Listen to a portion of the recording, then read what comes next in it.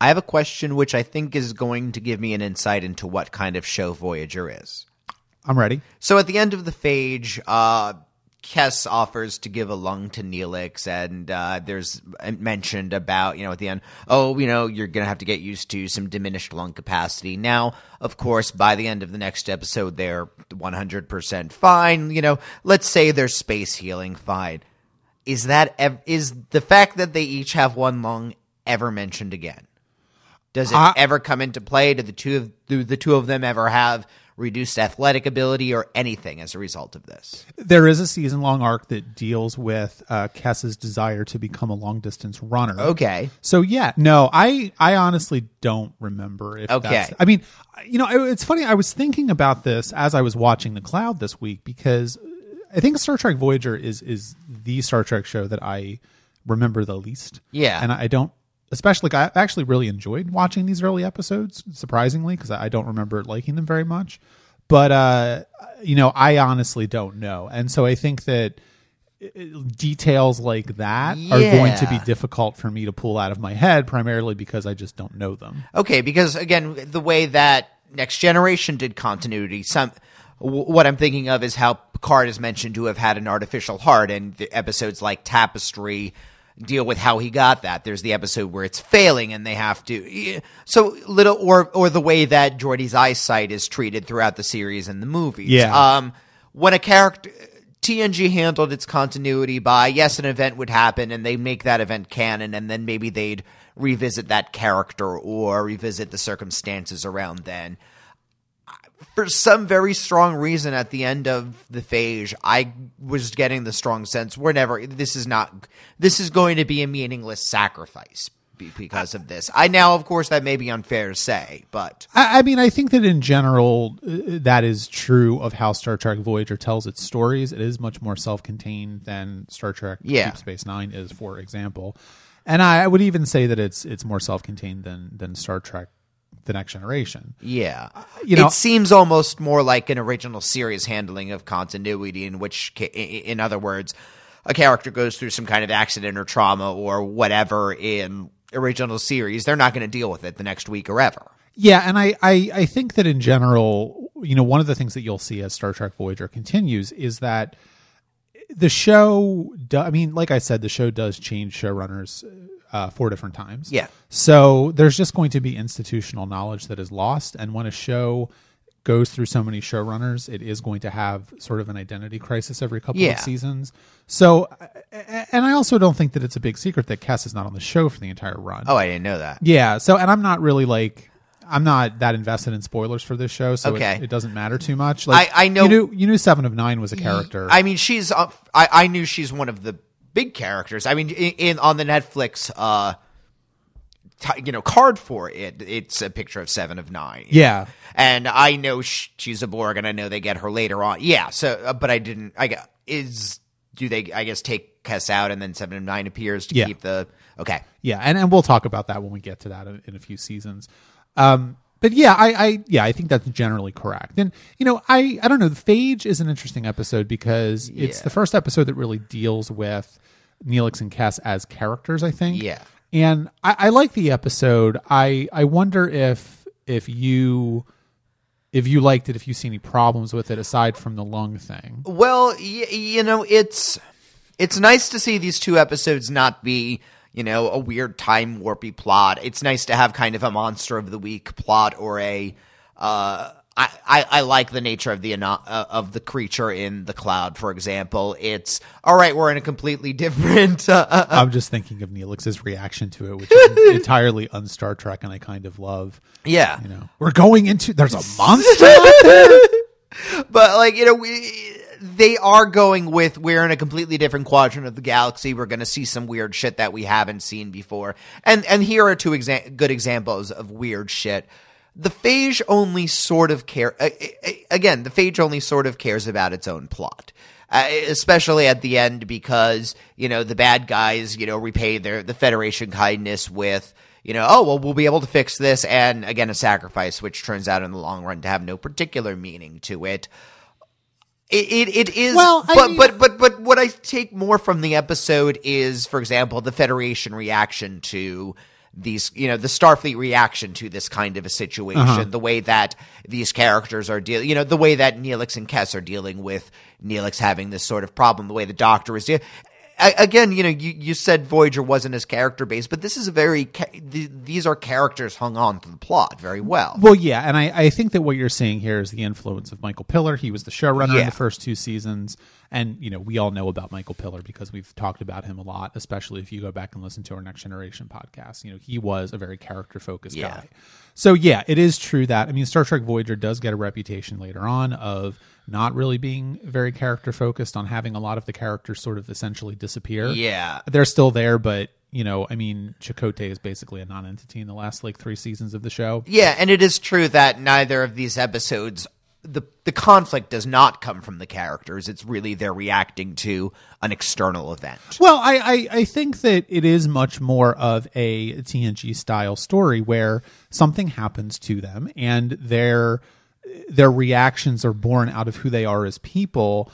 You know, I because I, I, I don't really agree with you that the the sacrifice at the end where Kes gives up one of her lungs for Neelix is is meaningless because I, I think that the point of that is not oh let's have let's talk about them having diminished lung capacity for the rest of the show because No, frankly, it's who fair. the fuck It's- cares it's- but that's not really i mean that's not going to give us any good stories uh, it, it's more to do with the fact that Kes giving up one of her lungs is the show demonstrating that these two characters care for each other and exactly how much Kes cares for Neelix. Yes, that's really what the point of that is. and that she does right you know she, she she does say you know you saved me from the uh Kazons or whatever you know th- this The is Kazon, yeah. this is kind of returning the favor yeah the, you know you you would and did do the same for me Right, exactly. And I mean, you know, the show also doesn't mention the fact that the Ocampa only lived for nine years, which is another kind of interesting Yeah. wrinkle to it because, you know, Neelix is going to be alive a lot longer than Kes is going Yeah, to be yeah. alive. So,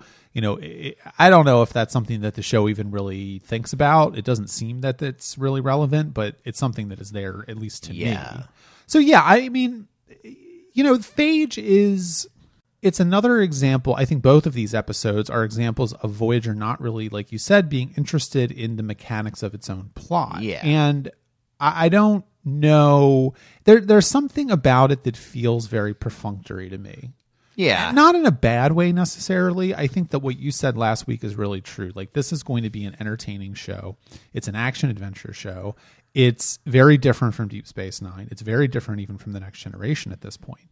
And it's not really interested so far in telling uh, uh, the kinds of stories that TNG or DS9 were telling. I don't know that that's necessarily a problem, though. No, because we did have TNG and DS9. I mean, in some ways, this episode reminds me of, for example, uh, The Quickening, which was, again, about a civilization dealing with this disease that you know, kills them and the, the costs and the, the hard decisions they have to make in order to. And yet, that was more concerned with the society that's, that's dealing with the, with the cruelty of the Dominion to inflict this on the society, with a society that's lost hope, learning how to get hope again. This is specifically, a, we don't really learn much about their society. We just learn about these two guys, really. We don't- It's a, yeah, it's, I mean, we don't really learn anything about their society. Yeah. we we do the two. It's it's very. I think the the word for Voyager so far is cartoonish. Yeah. it, it's it's sketching Smaller. out. It's yeah, it's smaller, which is odd because it's taking place in a part of the galaxy that we've never seen before. But it's it's very much focused on uh, sketches as opposed to yeah. as opposed to well thought out examples of what these societies would be like. I mean, we don't go to the Vidian planet, for instance. Yeah, yeah, yeah. We we see two members of their species that tell us their story and say, "Oh, we used to be like artists and we were wonderful and we were very beautiful and all this kind of stuff." But we don't get a sense of really what their society was like. We don't get a sense of the real cost of this it, it's very much a chase story. It's very much a mystery story. Yeah. And it's not very interested in the Vidians at, even as people, I don't think. Yeah, again, we get the little bit about the one who insists that they're an artist society, and he is the one who recognizes the depths of what the Federation is doing, and he is the one who says, well, you know, this just because this is a bad, fucked up situation doesn't mean we can't help. You know, let, let's at least look at your your technology and look at the situation, and they they are able to come up up with a solution with, with a for it. solution, yeah. But I, I think that you know, in But, general, yeah. it's not. That's not a deep character. It's not a deep character, and it's also not a deep plot. I mean, Yeah. essentially, it's Neelix goes down to this asteroid looking for dilithium. There is no dilithium there because this Vidian is, uh, uh, you know, making false dilithium signals, I guess, to lure people there and then stealing their organs. I mean, you know, it's all very sort of like okay. There's some body horror stuff in there. Yeah, they can't. it- it- It's a Brannon Braga show. Um, they don't really.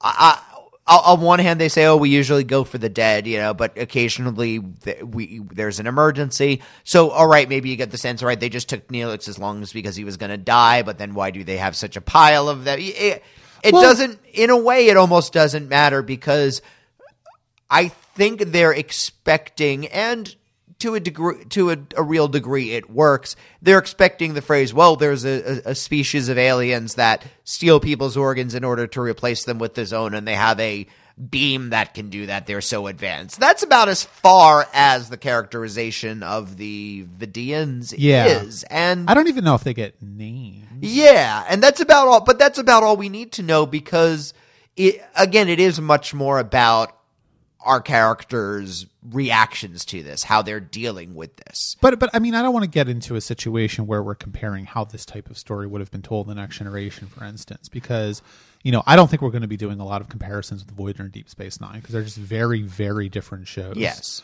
but. I, I feel as though one of the I mean, there's this really interesting idea in the episode where the the one Vidian is the guy who's really sick. I mean, they're both sick, obviously, but one is sicker than the other, and it seems like the one guy is almost his aide or his sort of Yeah. herald, and he's the one that's actually looking for other organs for him. Yeah. and there's this whole like you know, and Deep Space Nine would have taken that, or even the Next Generation would have taken that idea and would have run with it and would have constructed an entire episode around it. Like that's a really strange setup for a society. What Yeah. what what is the purpose of that? How did that develop? What's the morality of this sort of thing? These two have an extraordinarily strong and intimate relationship. As a result of that, this episode doesn't really. And this episode care. kind of tosses that idea off and does absolutely nothing with it. And again, I'm not necessarily criticizing the show for having different aims or different ideas or different a different philosophy No. than the other two Star Trek shows. I mean, I think it, it, it has the ideas, but it doesn't really want to do anything with them in depth because the show needs to keep moving. Yeah, and very yeah, as a very literal literal of the plot. I think it's useful to compare the shows in order to figure out exactly what Voyager is right now, since we only have right now four episodes of Voyager and so much more of DS9 and TNG and the original series. Uh, obviously, we're going to be able to talk about the others a little more and what how the, how this is different from that. Yeah, no, absolutely. I agree with that. So, well, let okay. Let's talk about um, a couple of things that are not present in the episode because, uh, first of all, and this is something that's happening in the cloud too. So there's this idea that they're they're low on energy, Yeah. right? and so they they can't really use the the replicators because they're running low on energy, so they're eating Yeah. rations and stuff. both episodes are spurred on by their l- lack of resources and they need to go on the side quest because all right we need power that badly Yeah. Right. In in in in Phage, they're looking for dilithium, and in the cloud, they're looking for this polaric Omicron energy or whatever the hell it is is. yeah. So, and I think you're already starting to see how Yeah. uninterested I am in actually examining the technobabble in Voyager, but. There's the the opening scene of this episode. I think is really indicative of the ways in which Voyager is, is going to be different from the other shows because Neelix has constructed this kitchen. Uh, there is now a kitchen. this is something that stays in the show throughout the show. Oh, good. Uh, Neelix becomes like the cook, and you know, there's a, there's an element to it which is really interesting to me because I, one of the things that I don't think people talk about enough is the fact that Neelix and to a lesser degree Kes are are not Starfleet, have Yeah. no relation to Starfleet or the Federation whatsoever, have very different goals and aims, see space very differently from these characters and from each other and from each other, and also you know don't know that you're not just supposed to make a kitchen. yeah I, I i mean neelix has spent his life we assume scavenging and you know if, if there's a room and no one's in it and using it at that moment you know there's nothing wrong with claiming it and doing what you will with this and especially from Neelix's view, it's not like he's doing anything selfish really by making a kitchen. He's making a kitchen because he recognizes that G morale is low. Everyone has really bad food. I mean, it, we almost, you know, I laughed in the la- I in I think it was the second episode, he was like, "Oh well, I can cook some stuff together." No, I mean he's a real cook. He actually knows how to build a very nice looking kitchen from the looks of things. Uh he's doing something totally out of the niceness of his heart, and I and yes, it's it's against the rules, and it's I I, I mean I think Voyager is more dealing with when it is appropriate to break certain rules. Yeah. because outside of it, it's very well and good to again have the Starfleet handbook. You know, when you're in Federation space, when there's somebody who's gonna catch you when there's enough people around that if you don't follow this protocol well it, you know things will clash. Out here in the in the delta quadrant where they are the only hundred starfleet and as she says in the second episode we're the we're pretty much the only humans around uh the rules can be different. When you don't have when a ship that's big enough where you have all these other rooms, you know, it's fine to reappropriate a room for the kitchen because we need a kitchen more than the captain needs a private dining room, frankly. Well, there's a couple of things that I think are interesting here. Number one, of course, is that Neelix does turn the captain's private dining room into a kitchen without permission. And that is something that, while I think Captain Janeway cares about, I don't think a lot of the other characters on the show are necessarily going to care about. Uh, and he does it obviously without asking for permission. He does it out of the goodness of his heart because he wants to help the crew and he wants to provide for them and feel like he is uh, uh, necessary and Yeah. he feels like he is he is contributing.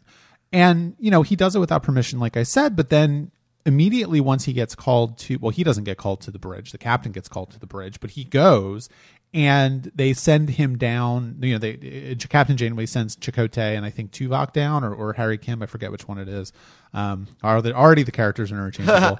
um, and then you know Neelix is like, well, I'm going too because I've been studying up on this all week, and I've been studying Yeah. my away team procedures, and I've been studying how to use the tricorder, and you know, so he realizes that that that while he uh, he wants to help out, he needs to adopt some sort of knowledge at some point, and he really, I mean, I think both of those things really do demonstrate exactly how much Neelix wants to be useful Yeah. for these people. I mean, to go back to the concept of a private dining room too, I'm also if it's large enough to have a kitchen and have a few people eating there I don't think it's a dining room as in the place where just Janeway eats her dinner every single night. I mean, she's probably more grabbing something to eat in her ready room or something like that. Maybe the dining room is where when they have somebody, you know, we, we how how many big fancy dinners have we seen over the course of next generation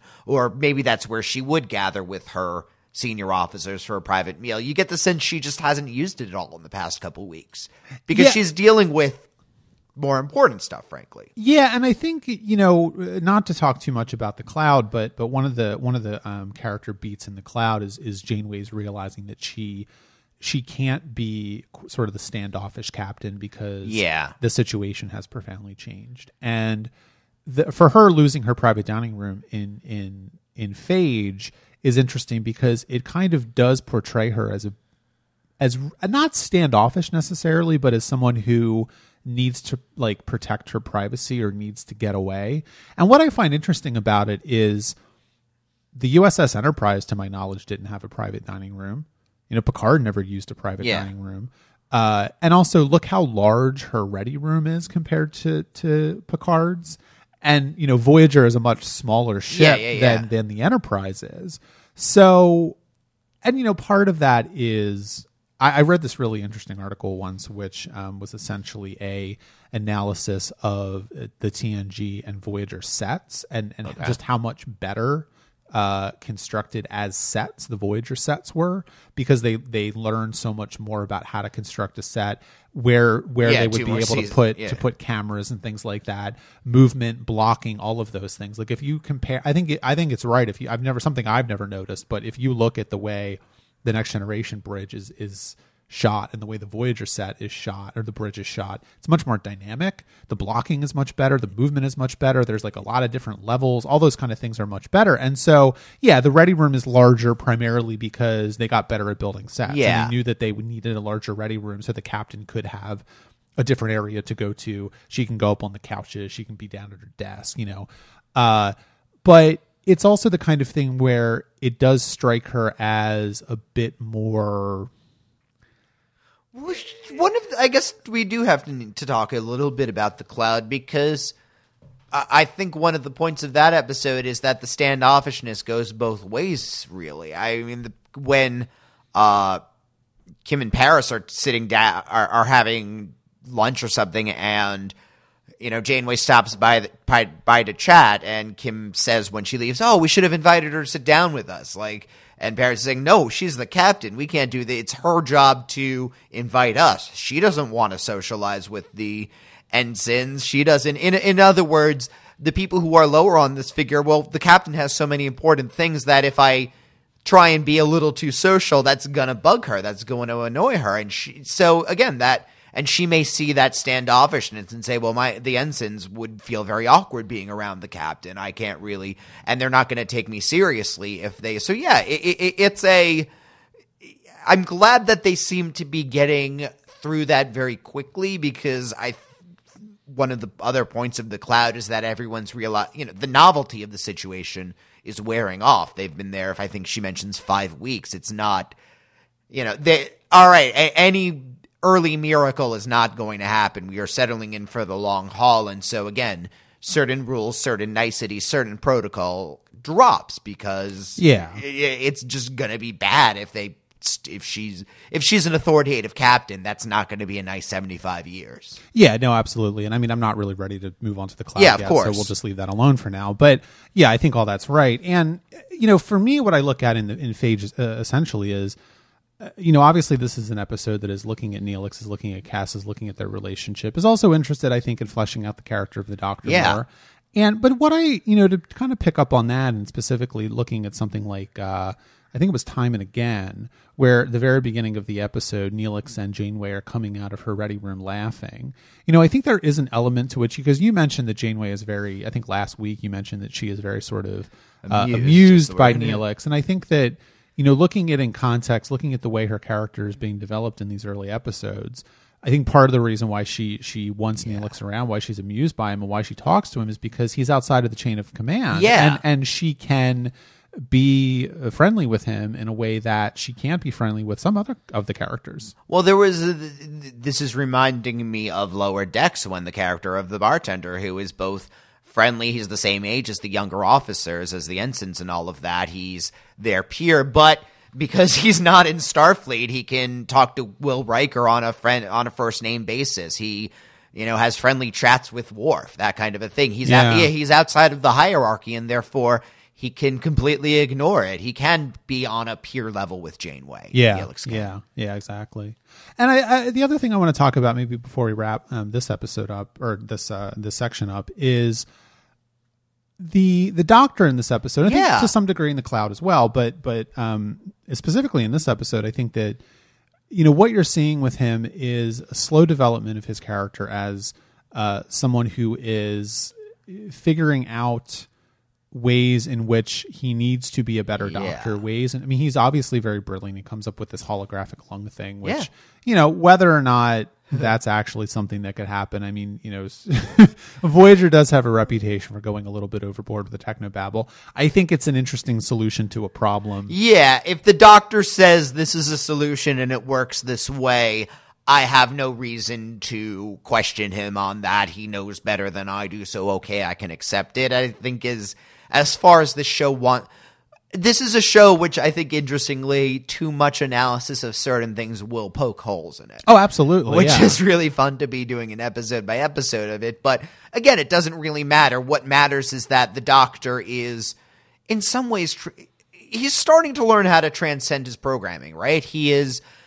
a- a- As he says to Kes, I'm an emergency thing. I, I'm just here for, you know, people. People just the the doctor's occupied that we really just need bodies or whatever. The doctor himself is sick. Okay, but then in a week or so we get another doctor. He doesn't know how to deal with actually being the doctor. So, but the fact that he is able to come up with this very creative solution shows him to be a little more than that, right? Yeah, no, absolutely. And I think that, you know, Kes's point at the end of the episode Yeah. is, is very profound as well, where, you know, she says essentially, well, you know, doctors learn how to Yeah. do this. I mean, they, they don't, you know, I mean, some doctors are just very, very good at bedside manner, Yes. or very compassionate or whatever. But, you know a lot of doctors have to learn how to do that, and And if he's going to have to learn how to do it too. Yeah, all doctors need to learn something. That that's why they go to med school, and he can sit and complain about it, or he.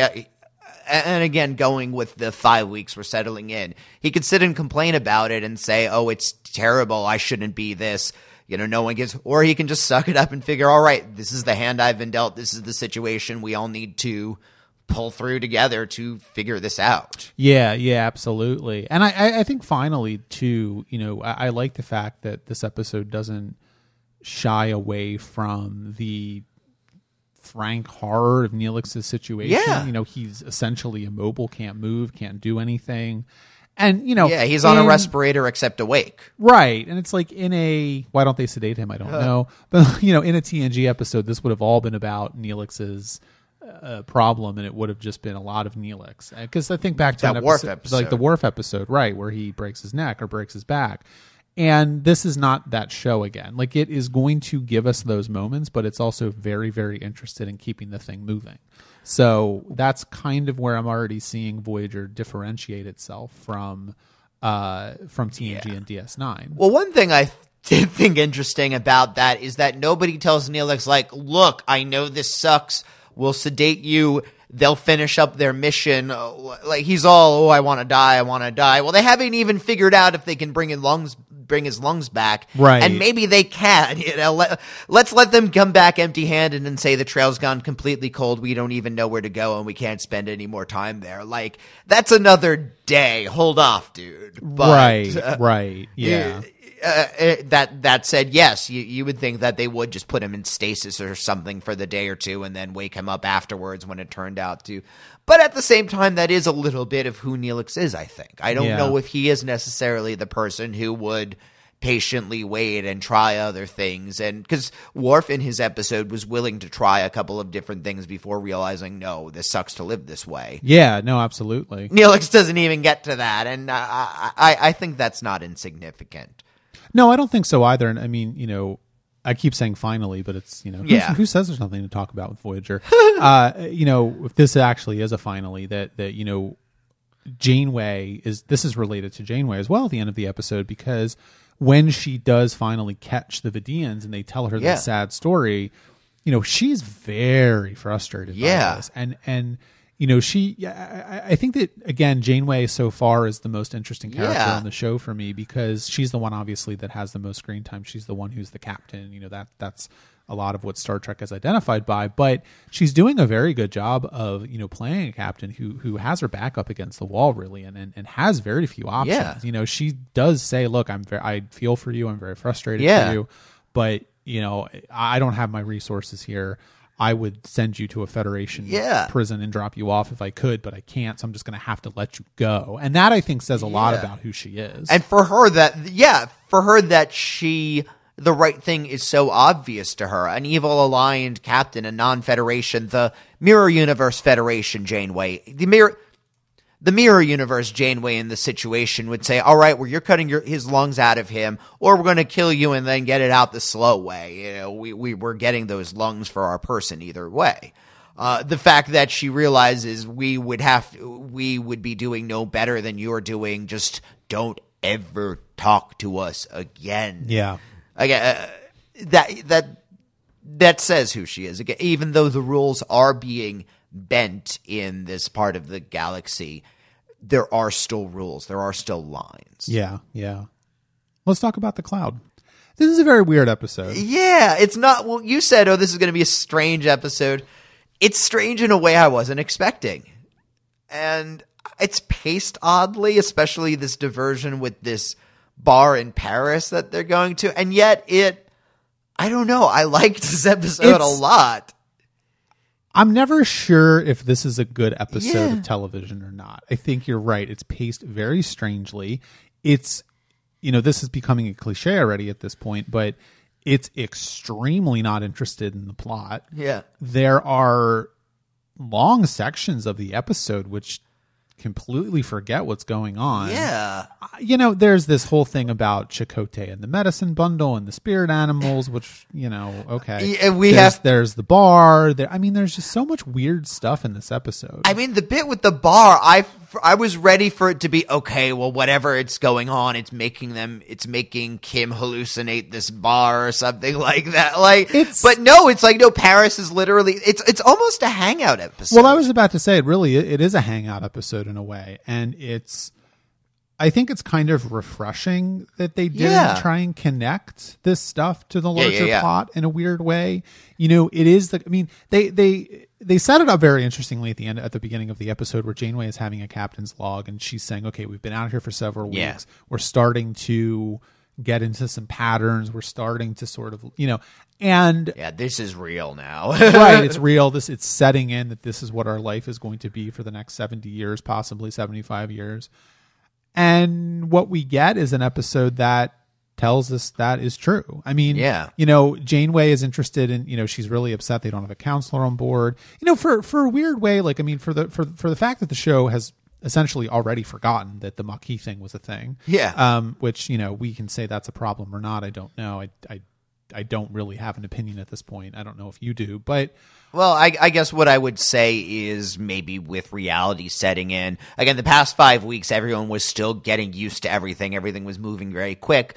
But now that it's even moving slow, I, I think everyone's realizing how irrelevant the Maquis division is at this point. They're so far away from the planets where this is happening, from the territory that it's being fought over, and I think everybody is everybody is beginning to admit that by the time we get back, that situation will be long settled, and we, uh, either way.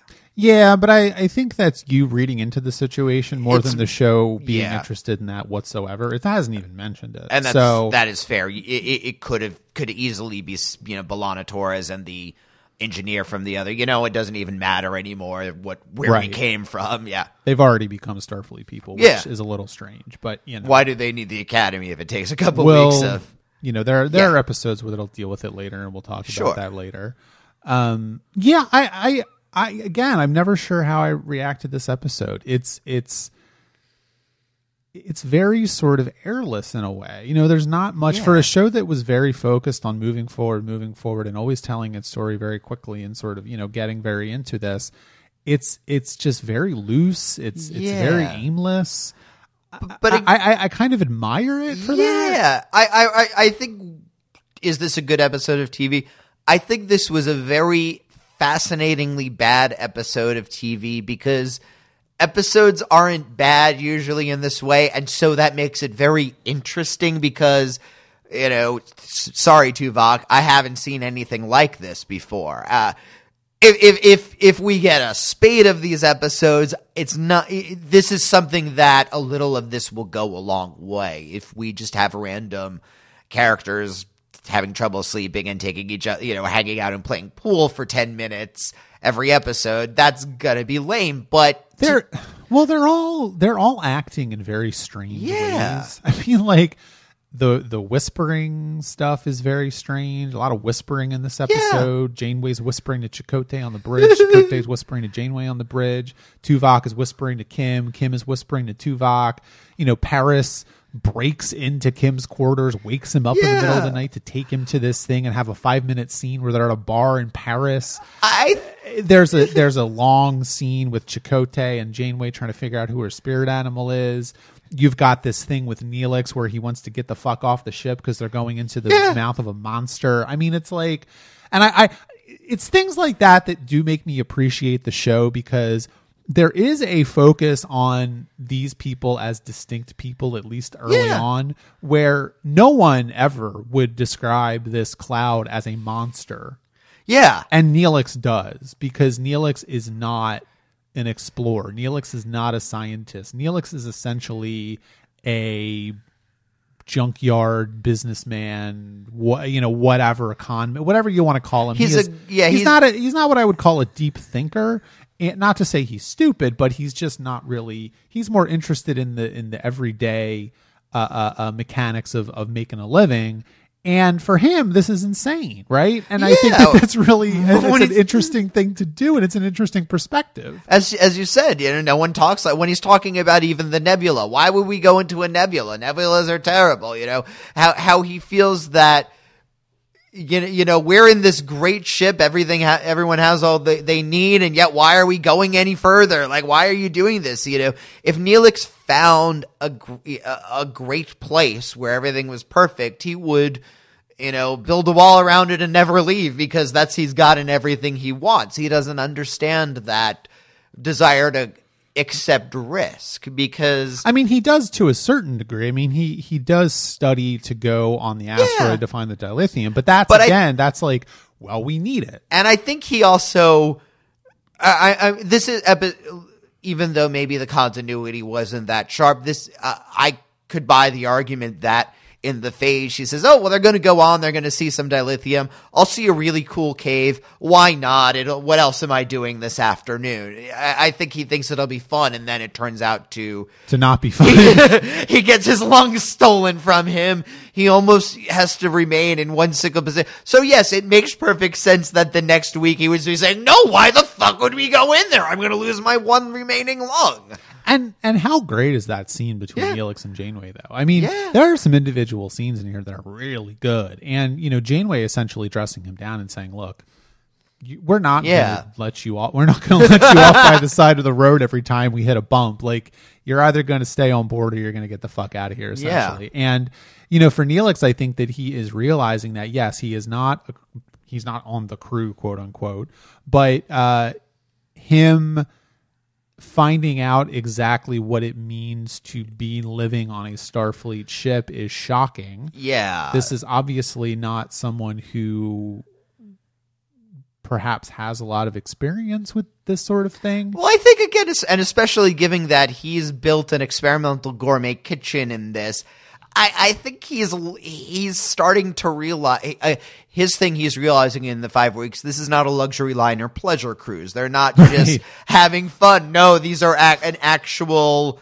military-ish organization which is dealing with dangerous things which has to resupply itself and has to go into some very risky situations in order And, to and which has goals and aims and interests that are entirely Yeah. different from what his goals and aims and interests are. You know, it seems to me that Neelix's goals and aims and interests are to get through life and hang out with Kes. And Janeway and the whole crew's interest is well to get home, but also they're still explorers and, and they're still interested in seeking out new life and new civilizations. Well, who? Yeah, who was it? One of the characters says, "Oh, we've given up on going home. We're just scanning everything again now." Uh, Uh, I don't remember. I yeah, I think me.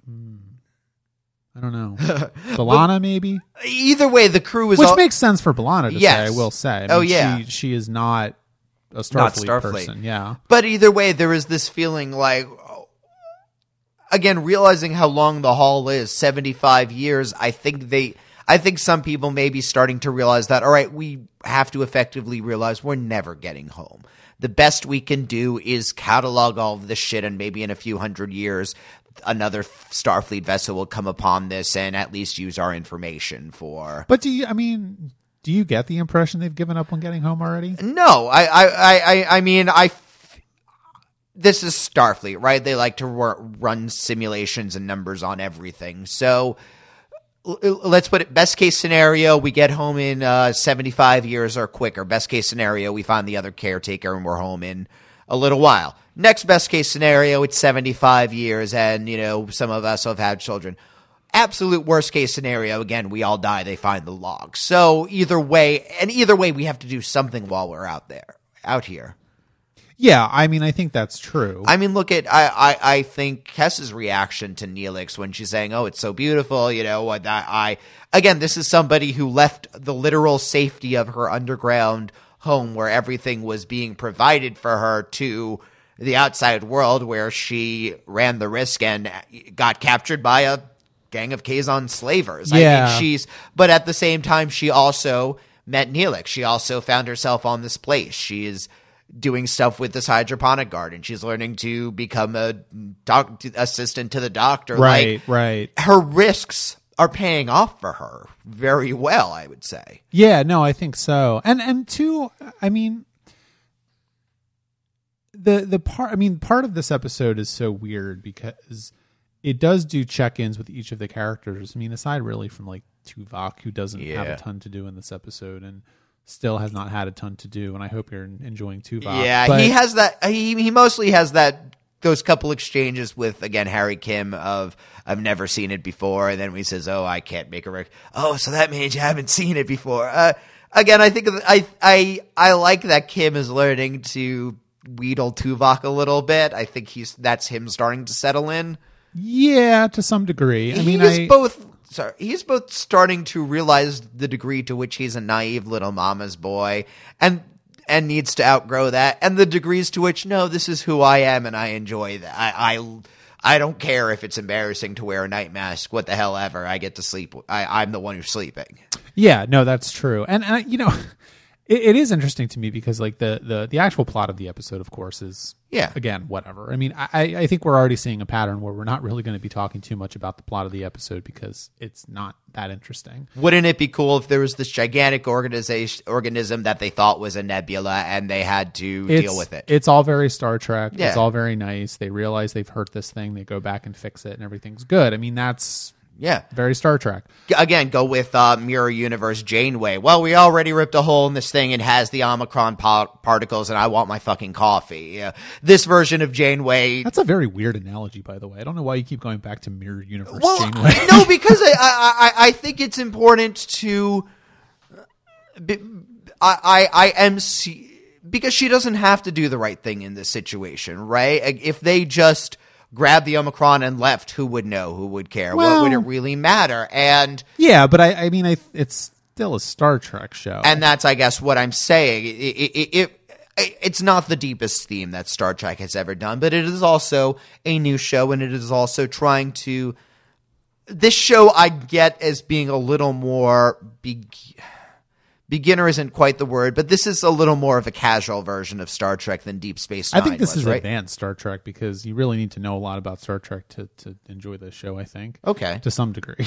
I, i'm just That's my opinion. well i'm thinking about the fact that i know a lot of people who don't really watch other star treks but love voyager I don't get that. Yeah. but Again, anecdotally, either way, I think they. Your first, humans are complex and have very different opinions about things. It's fascinating. either way, your first few episodes are the pilot, right? So we Yeah. still need to we need to establish over and over that Janeway is the kind of person who, even if it is going to risk their crew a little bit, that she's going to do the right thing because that's what the Federation does. Um, it's why they're in this situation in the first place. They could have easily just rigged the ship to go home, but no, they had to do the right thing by destroying it. They could have.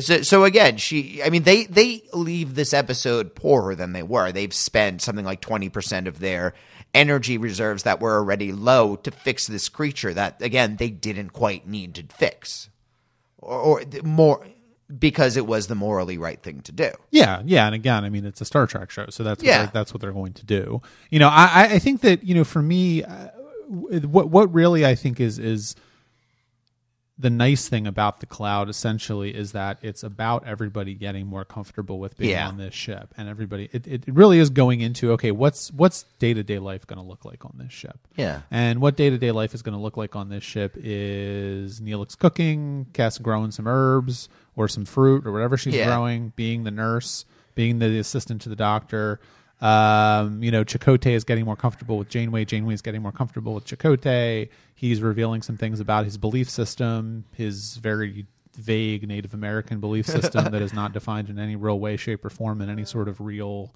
way or Yeah, no, I, I, I know Native American is not a culture. It's it, and, Right. and this show seems to.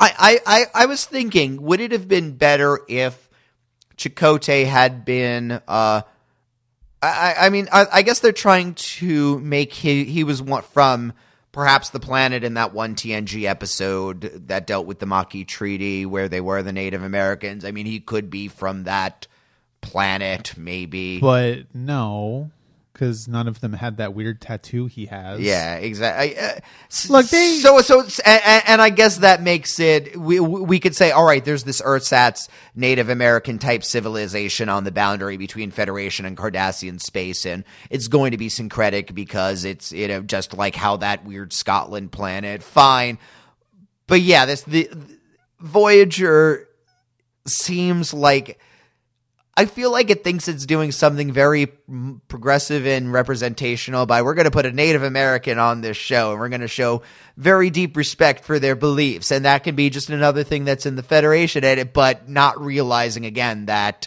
Native American is not a nationality or an identity itself. It's a category of or, or, or larger set of in, in a weird way this show is very and i'm not using stereo i'm not going to use stereotype in a bad way but it, but it's very uh, uh, interested in, in stereotypical representations of, of Yeah. a lot of these characters and a lot of these situations. I mean, I think the the, the scene set in the bar in, in Paris or Marseille, I think it's Marseille, Yeah, yeah. are are a case in point, right? Because that is basically like a, you know go to Disney World and go to the Yeah. Parisian cafe, and that's what you're gonna get. I mean, it's like you know, which is and- where I think some of the original series feel is for me.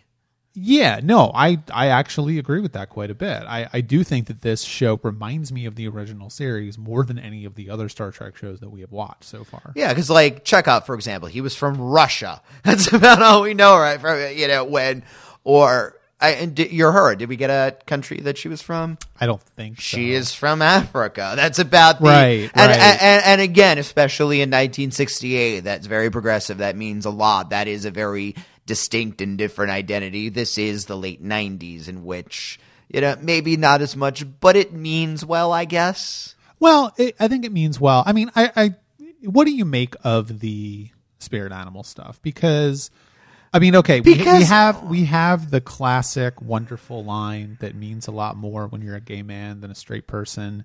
You strike me as a bear. Oh yeah. which you know I wouldn't kick Chakotay out of bed, but uh, yeah, it's like Especially if he has that drug box. sure. I just kind of feel like you know it's him getting more comfortable with Janeway. Yeah. Janeway realizing that she needs some help, perhaps. Uh, I don't think it's incidental that she is like really wishing they had a counselor on board, but And I think it's also a little way of getting her and B'Elanna Torres to have a nice another little moment That is because true. you know when she mentions it, you know Torres is the only other one that so Chakotay trusts the two of them. And I, I do feel a little awkward about the fact that, you know, then Harry Kim wanders up and Janeway's like, let me tell you about my friend's weird spiritual beliefs. You should totally do this for him. Oh my God. Wouldn't that be so much fun when, you know, this isn't like a parlor game. It's not like we're reading our horoscopes in the, uh, in newspaper. It's something serious and, uh, sacred to uh Chakotay and the fact that he's sharing this with Janeway means that he's put her into this And, but in a way all of the characters are assuming a further degree of intimacy Yeah. with each other than they might have but because I think they're all realizing it's going to be really suck if we don't just all right we're here we might as well be best friends and know everything about each other because it's going to be a very long 75 years if we don't have it all in the open Yeah, because I, I I think that if you can identify any single through line for this episode, it's Janeway realizing that she needs to connect Yeah. with each of her crew members in a very different way than she would otherwise perhaps be comfortable doing. And I think that each of the little moments in the episode that are sort of disconnected from everything else are about establishing ways in which Janeway is essentially going to do that. And the fact that they bring the bar back at the end is uh, makes that whole bar scene number one. It makes it worthwhile, but it is a nice callback. I assume that they won't be checking in at this bar. This is not going to be the new ten forward or poker room or whatever. But Right. the fact that episode four You might be surprised. Really, I don't know. Uh, the fact that episode four is ending with Janeway Episode five. episode five. The fact that episode five is ending with Janeway hanging out with the rest of the officers, hustling everyone. In I was about to say, not even hanging out with them. I mean, she is essentially hustling them. I mean, yeah, that's having awesome. having fun, relaxing, letting her hair down. That's something that took Picard the entire. She does not let her hair down. Mm. Uh, she does in that uh, episode when she was going uh, around with her little gun and stealthing around, but uh, and that's something that took Picard the entire series to get to. That's where All Good Things ends is with him finally figuring out how to connect with the senior officers as a friend and realizing the importance of that. She only took a couple episodes to get there, and I think that's uh, that feels like a progression. Well, I think yeah, and I think that you know maybe this is going to be something that we'll see develop throughout the series, but you know, essentially. This is a very different uh, uh, scenario than than the Next Generation or Deep Space Yeah, Nine yeah. because, of course, Deep Space Nine, it, Next Generation was kind of like a city. I mean, they had a lot of people coming and going. They were going to star bases. They had a thousand people Yeah. on the ship with families, and they had concerts and science Yeah. fairs and all kinds of stuff. Right? They had schools and blah blah blah. And so you couldn't really learn everybody's name on the Enterprise. Yeah. There was this idea that the the senior staff were a family, but you know, as we saw in an episode like Lower Decks, for example, they did not feel like they were connected to the senior staff Yeah. in any real way. Deep Space Nine again was very much a city.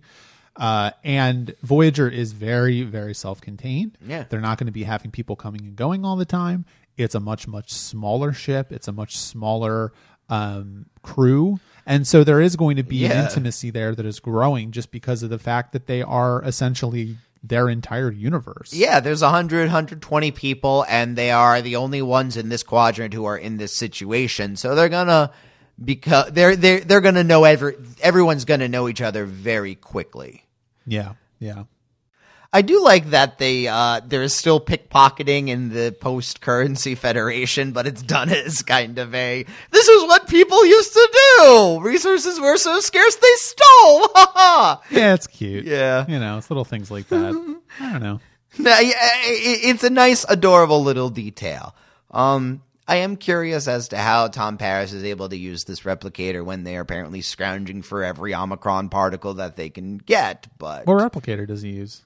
I'm sorry, hol- holodeck. Oh well, you missed the line in the the Oh. uh, early part of the season or series where they said that the uh, uh, very very conveniently the holodeck power systems are incompatible with the rest of the ship. Oh, okay. So that's why because they can't use the holodeck power to power the replicators for some reason. I That has to do with plot, Of I think. So I, I, I, I guess it has to do with, you know, they don't want the existence of the doctor to be a drain on resources. Okay, I did miss that because I'm like, you would think that this would be a very, I mean, I mean, if, if Neelix successfully quibbles with Janeway over, well, you're the captain, you're setting an example, you can't just be using your replicator rations, you know, left and right whenever you want a cup of coffee. Well, you can't really make a whole reenactment of a Paris, of a, of a Marseille bar because you just want to hang out. Like, okay, that's why. I understand. And you know, Huh. it's it's a minor way in which Voyager is a little bit bullshit, but you know, it is what it is. but that said, I respect that it thought of that bullshit. well, you're going to enjoy the rest of the show then. Great. Well, I think that's it for this episode of the podcast. If you have any thoughts on either of the episodes of Star Trek Voyager we just talked about, Phage or The Cloud, please leave a comment on the post for this episode of the podcast at trekaboutshow.com. You can check out our Patreon, patreon.com slash trekaboutshow, where if you like our podcast, you can give us a little bit of financial support. We appreciate each and every one of our patrons. If you give us $5 a month or more, you'll get a patron special, a special episode that is only available to patrons every single month. One a month, 12 a year, 120 a decade, which maybe we'll do. I don't know. We might all be dead. Uh, the one that we just released for April was on Galaxy Quest, which some people have called the best Star Trek movie. What did we think about it? You'll just have to give us $5 a month or more and find out. Social media, we're on at Facebook, Twitter, Instagram. Trek About Show is our username in all those places. And as always, please leave us an iTunes review for Trekabout. It makes us feel good. and it is the best way to get new listeners to listen to our podcast. Is well, that I think the best way would probably be a Super Bowl ad, but we can't afford that. if you would like to get us a Super Bowl ad, We also have to wait like 10 more months before we can do that because the Super Bowl happened a couple months ago. But yeah, Yeah, but we'll still be doing this next year, we will. Yeah, there's and no, the next year, No doubt of and that. the next year, and the next year. We have seventy-five years to finish this, unless we find the caretaker. We're actually doing Star Trek Voyager in real time. wow. All right, next week we are soldiering on with the first season of Star Trek Voyager. We're going to be talking about the episodes Eye of the Needle and Ex Post Facto.